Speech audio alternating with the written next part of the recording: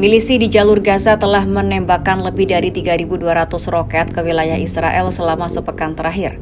Sebagian besar dari roket yang ditembakkan tersebut adalah roket jarak pendek varian Kasam dengan jangkauan sekitar 9 km. Melansir New York Post, roket ini diproduksi secara lokal dan dinamai sesuai sayap militer Hamas, Izzeddin Al-Qassam. Harga setiap pucuk roket Kasam diperkirakan antara 300 dolar Amerika Serikat atau setara 4,2 juta hingga 800 dolar Amerika Serikat atau 11,4 juta rupiah.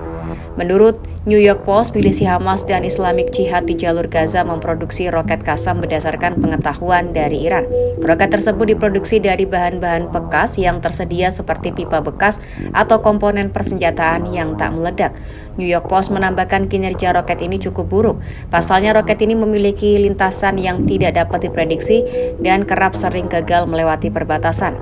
Oleh sebab itu, roket ini disebut-sebut bukan merupakan tandingan yang sepadan bagi sistem pertahanan udara Iron Dome milik Israel yang memiliki tingkat pencegatan sekitar 90%. Namun demikian, Fakta menunjukkan bahwa Iron Dome kewalahan ketika harus menangkis roket-roket Hamas yang ditembakkan secara sporadis dalam waktu bersamaan.